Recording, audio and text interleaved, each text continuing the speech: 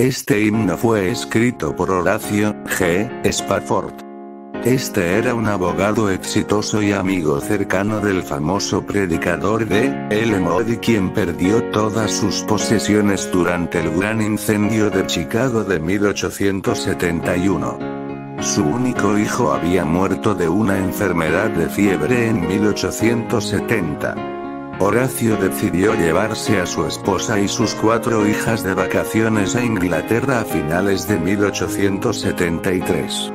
Sin embargo, antes de embarcarse un negocio de último minuto forzó a Horacio a quedarse, y sus cuatro hijas y esposas se embarcaron para sus vacaciones mientras Horacio se encargaba de este negocio. El barco Ville de Abre donde viajaba su familia chocó con una nave inglesa en las primeras horas del 22 de noviembre de 1873 y se hundió en solo 12 minutos.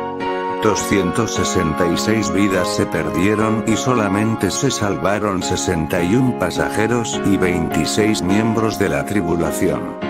Nueve días después Spafford recibió un telegrama de su esposa Ana que decía sobreviví sola.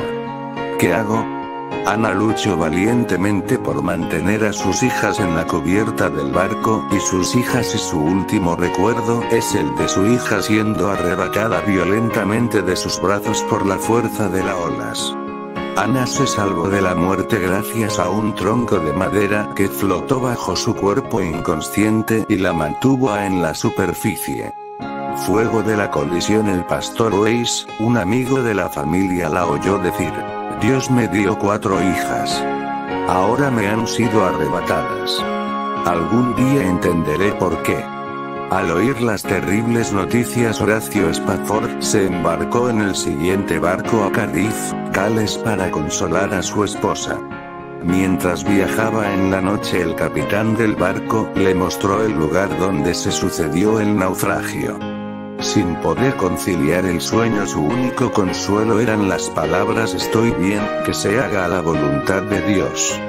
Tiempo después estas palabras se convirtieron en la letra principal de lo que sería el himno que hoy todos conocemos, cuya música fue compuesta por Philip Bliss.